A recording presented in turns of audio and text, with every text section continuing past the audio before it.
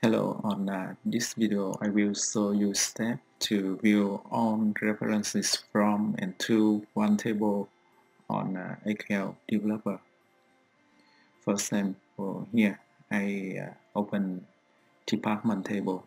Then I need to know um, which table are reference to and from department table.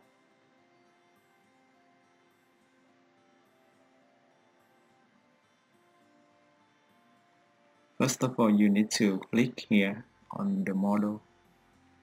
And you can see here, we have some references here. For example, the department table reference to uh, location table. If we click on the reference, we will see the reference on location ID. And uh, we department table reference to the primary key of uh, location ID.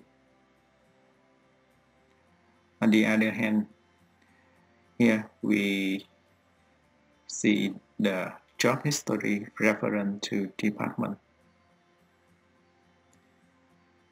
Uh, you can uh, we can uh, open the job history to see the detail of it like this.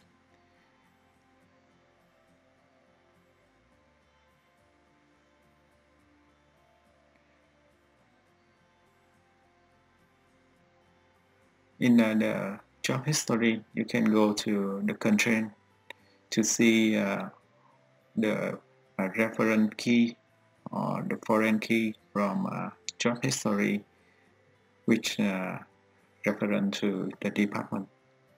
So this is the reference key from uh, job history reference to department table on department ID